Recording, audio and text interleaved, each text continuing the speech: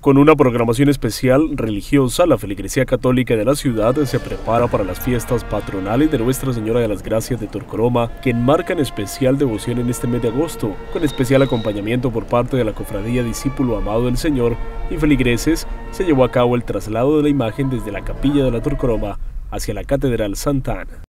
Eh, todos los días tendremos en la catedral la misa 7 de la mañana, 12 y 6 de la tarde. Terminando la misa de 7 y la de 12 se hace la novena pero la, novena, digamos, central, donde viene todas las parroquias eh, y toda la comunidad es a las 6 de la tarde. 5 y media el Santo Rosario, 6 Eucaristía, terminada la misa, la novena, la central de todos los días, desde el 7 al 15.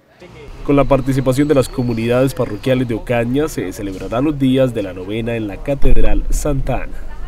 Este año volvimos a la metodología de invitar a los padres de cada parroquia de Ocaña, eh, de la Vicaría Central, y entonces están viniendo los sacerdotes a presidir la misa con el coro, con los movimientos apostólicos, con los proclamadores, es decir, se viene en procesión Hoy creo que le corresponde a la parroquia de San Antonio, entonces todos los días hay una parroquia invitada. Así que todos vamos a celebrar esta novena con mucha fe, con mucha devoción, pidiendo por la paz, por el trabajo en nuestra ciudad, por el progreso de Ocaña y sobre todo para que podamos vivir en paz este nuevo año que el Señor nos ha regalado y que lo culminemos, pues, si Dios quiere, bien, llenos de, optimismo, de salud y llenos eh, integrados a nivel familiar.